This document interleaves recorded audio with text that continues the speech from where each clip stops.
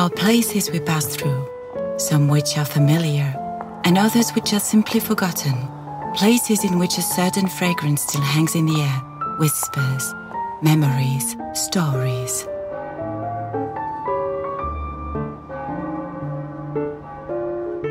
Our story begins in Montmartre, Paris, during the roaring 20s. In a hair salon, filled with the palpable optimism of a new chapter about to begin, a young man could sense the dawn of a new era. That young man's name was Albert Ducret. Albert Ducret, c'était un sacré bonhomme, c'était un type formidable, et c'était mon père. C'était un père attentif et surtout complice, avec moi. L'une des qualités clés de, mon père, la curiosité. Hein, la curiosité et l'attention donc euh, au monde qui l'entourait, qui lui permettait donc euh, d'avoir euh, des, un ressenti, euh, une sensibilité qui certainement lui a été, euh, lui a été utile tout, tout au long de sa vie. Albert's remarkable adventure started at the age of 16. After a successful school career, he left Nice and set off for the capital.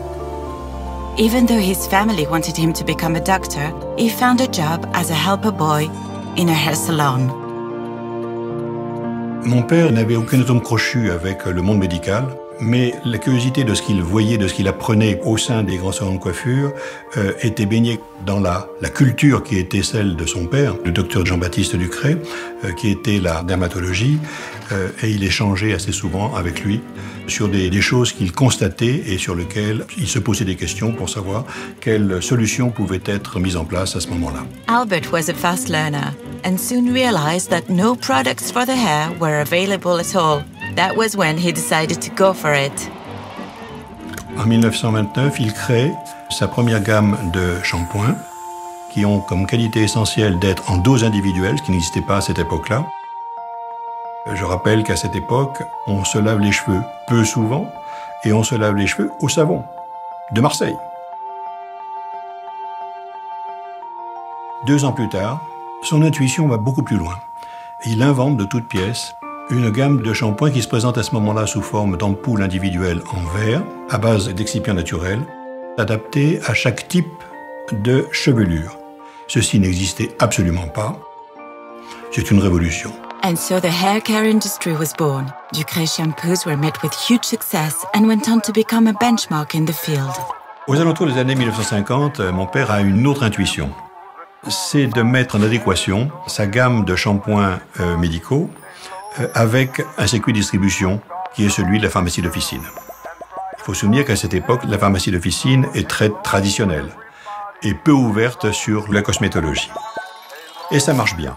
Ce qui l'amène d'ailleurs par la suite à diversifier son offre produit en conservant la même philosophie, mais euh, non plus euh, seulement adaptée donc à la chevelure, mais également à la peau.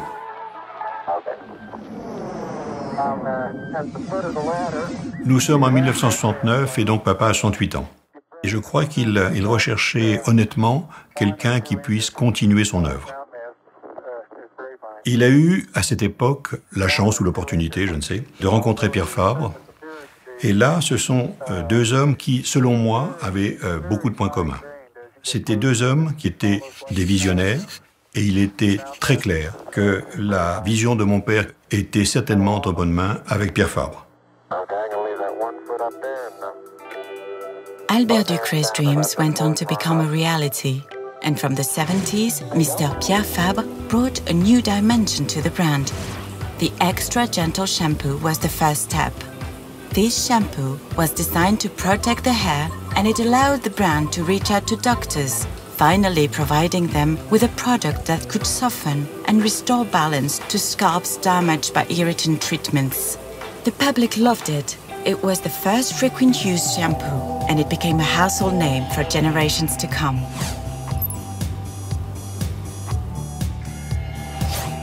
In the 80s, boosted by the support from the medical community, Ducray took up the skincare challenge.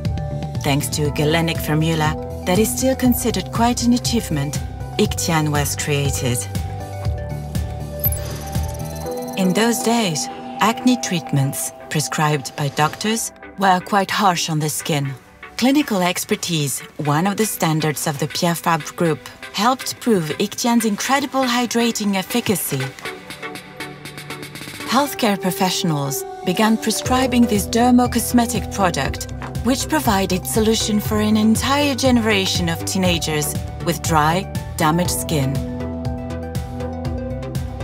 The Ducray brand continued to make progress in dermatological research. In the 90s, 20 products were launched. Dermatologists now had several solutions for their patients' skin conditions, and the closing of the 20th century saw the launch of Keracnyl, which went on to become one of the most prescribed treatments for acne-prone skin. The new century is entering in the digital era.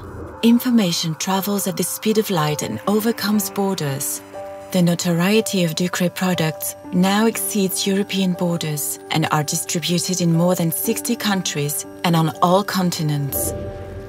Kelual DS Anti-Dandruff Shampoo and Anacaps, a food supplement that helps slow down hair loss, complete Ducray solutions for all hair types. Recognition is there. In Europe, Ducray Hair Care is now available in pharmacies and parapharmacies. In 2010, Ducray entered a new development phase with one strong conviction useful innovation. Indeed, from the beginning, Ducray has defined innovation to serve the conception of care products in order to improve daily life. This is how we created our soothing repair cream, the result of 11 years of research, which is today the only medical device that treats eczema lesions thanks to its ultra-hydrating dressing effect.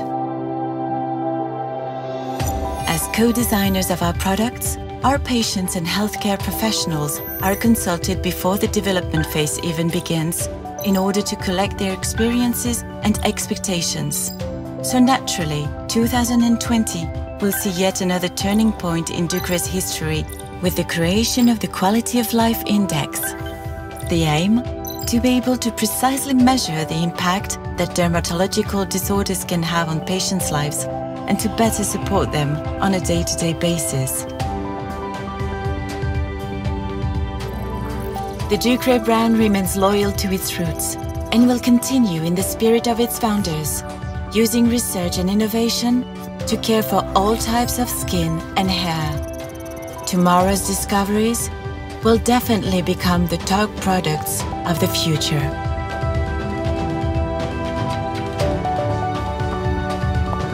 This beautiful story began in Paris and continued all over the world. The Ducray brand, the heritage of two men who shared a common vision, looking forward to the future.